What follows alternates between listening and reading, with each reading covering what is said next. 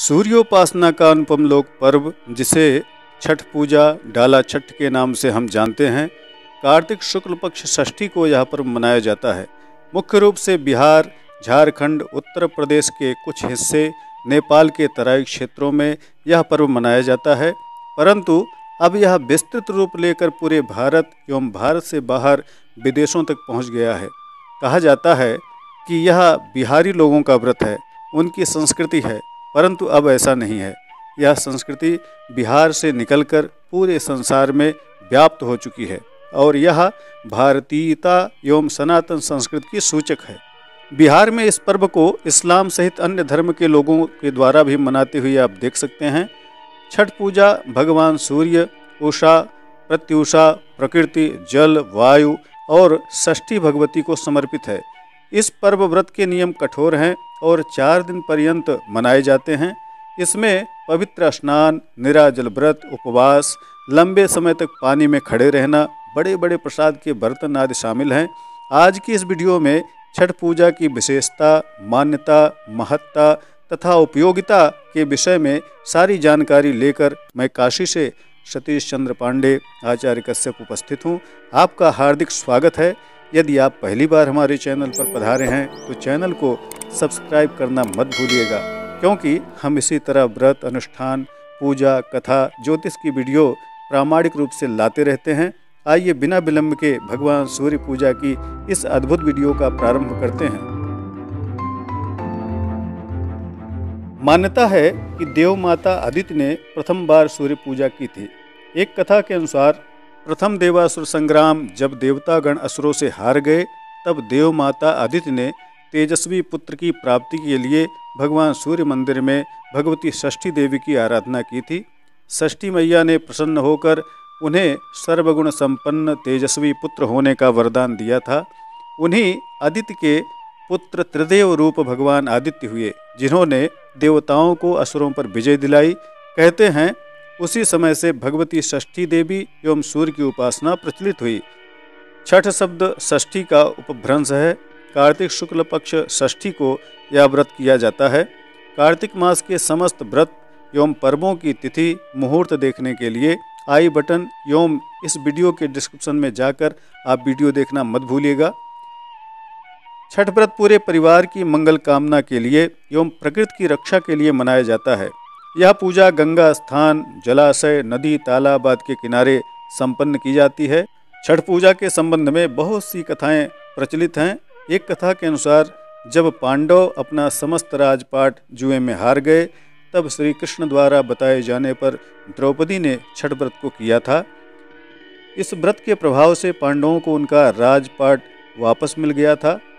लोक परंपरा के अनुसार, सूर्य और षष्ठी देवी का संबंध भाई और बहन का है। छठ व्रत चार दिनों का पर्व है। भैया दूज के तीसरे दिन यह व्रत प्रारंभ होता है और पहले दिन सेंधा नमक, घी से बने हुए अरवा चावल और कद्दू की सब्ज़ी प्रसाद रूप में ली जाती है। अगले दिन से उपवास प्रारंभ हो जाते हैं। व्रती दिन भर अन्न जल त्याग कर शाम को खीर बनाकर पूजा के उपरांत प्रसाद ग्रहण करते हैं, जिसे खरना कहते हैं। तीसरे दिन डूबते हुए सूर्य को अर्घ, जल, दूध आदि अर्पण करते हैं। और अंतिम दिन उगते हुए सूर्य को अर्घ देते हैं। पूजा में पवित्रता का पूरा ध्यान रखा जाता है।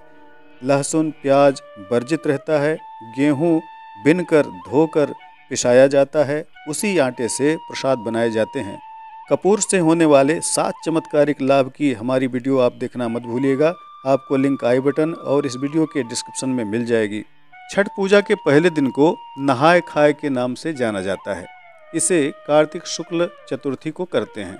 इस दिन घर की साफ़ सफ़ाई, व्रती अपने नज़दीक स्थित जलाशय के पास साफ़ सफ़ाई, घाट निर्माण करके नदी जलाशय में स्नान करते हैं।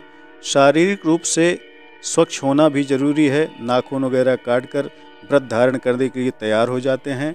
इस दिन सिर्फ़ एक समय भोजन व्रती लोग करते हैं।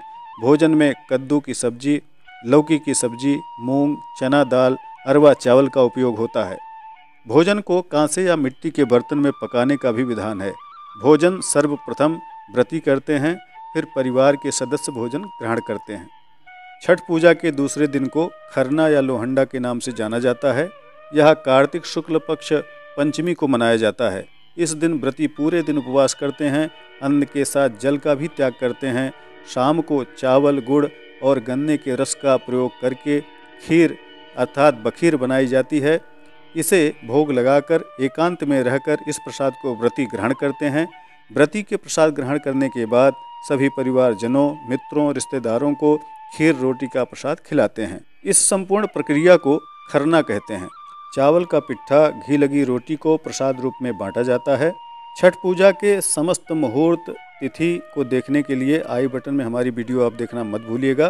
किस तारीख को नहाय खाए का व्रत होगा क्या मुहूर्त है? कब सूर्योदय होना है? कब सूर्यास्त होगा? कब खरना किया जाएगा? और कब अस्तगामी सूर्य को अर्घ दिया जाएगा?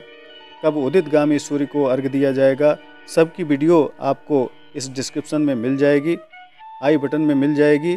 सारा कुछ मुहूर्त के अनुसार उसमें दिया गया है, आप देखना मत भूलिएगा। छठ पूजा का तृतीय दिवस संध्या अर्घ्य के लिए जाना जाता है। यह कार्तिक शुक्ल षष्ठी को मनाया जाता है। पूरे दिन सभी लोग पूजा की तैयारी करते हैं। ठेकुआ प्रसाद का निर्माण किया जाता है। चावल के लड्डू, कचवनियाँ भी बनाई जाते हैं। छठ पूजा का सारा प्रसाद बाँस की डलिया टोकरी, जिसे दौरा कहा जाता है, में रखकर फल, फूल, गन्ना, शाम को नारियल, पाँच फल, पूजा का सामान, सब कुछ दौरा में रखकर पुरुष वर्ग अपने सिर से ऊपर उठाकर उसे छठ पूजा घाट तक ले जाते हैं। महिलाएँ छठ मैया के गीत भी गाती हैं। जलाशय या नदी के किनारे जो छठ मैया का निर्मित चौरा होता है, उसकी पूजा करती हैं। सूर्यास्त से कुछ समय पहले ही सूर्यदेव की पूजा के लिए सारा सामान लेकर जल में पश्चिम मुख करके खड़े होकर डूबते हुए सूर्य को, अस्ताचलगामी सूर्य को अर्घ देकर पाँच परिक्रमा करते हैं। प्रसाद में कार्तिक मास में उत्पन्न सभी फल फूल शामिल किए जाते हैं। कंदमूल, सब्ज़ी, फल, मसाले अन्न, गन्ना, ओल अर्थात सूरन, हल्दी, नारियल, बड़ा नींबू, केला को प्रसाद रूप में अर्पण किया जाता है। इसमें सबसे महत्वपूर्ण अन्न केराव के दाने भी होते हैं, जो टोकरी में लाए तो जाते हैं, परंतु सांध्य अर्घ में इनका प्रयोग नहीं होता। इनका प्रयोग दूसरे दिन उगते सूर्य के अर्घ में किया जाता है। चौथे दिन सप्तमी को उदीयमान सूर्य को अर्घ दिया जाता है।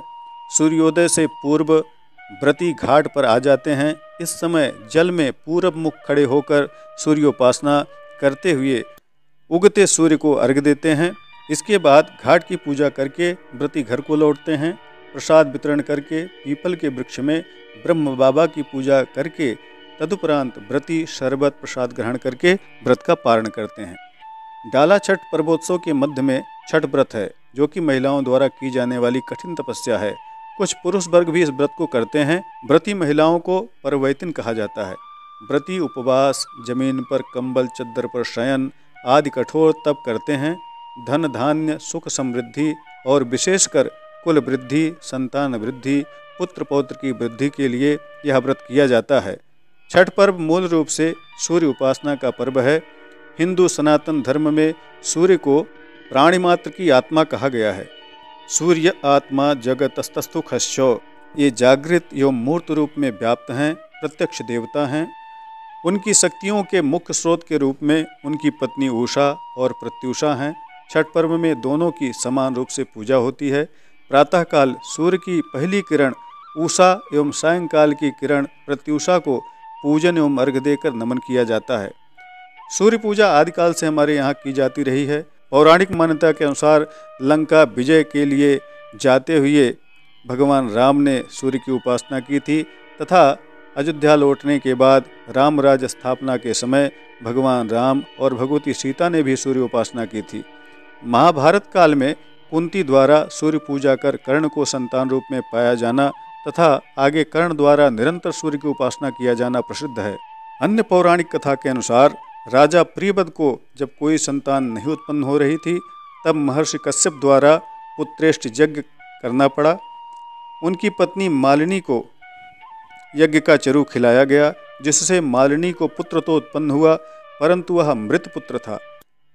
पुत्र के लिए प्रियबद अपना प्राण त्यागने के लिए उद्यत हो गए। तब ब्रह्मा की मानस कन्या देवसेना प्रकट हुई और बोली, मैं सृष्टि के मूल प्रकृति के छठे अंश से उत्पन्न हुई हूँ। मैं षष्ठी हूँ। राजा प्रियवद ने षष्ठी देवी की आराधना की, जिससे उन्हें पुत्र की प्राप्ति हुई। इस तरह से हमारे भारतवर्ष में देव उपासना और उनसे कल्याण का मार्ग प्राप्त करने की आदि परंपरा रही है। षष्ठी माता की कृपा आप सबको प्राप्त हो।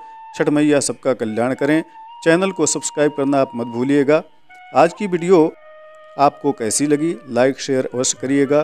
कमेंट के माध्यम से अपने विचार व्यक्त करना मत भूलिएगा। शीघ्र ही अगली वीडियो में फिर मुलाकात होगी। तब तक के लिए नमस्कार। जय विश्वनाथ।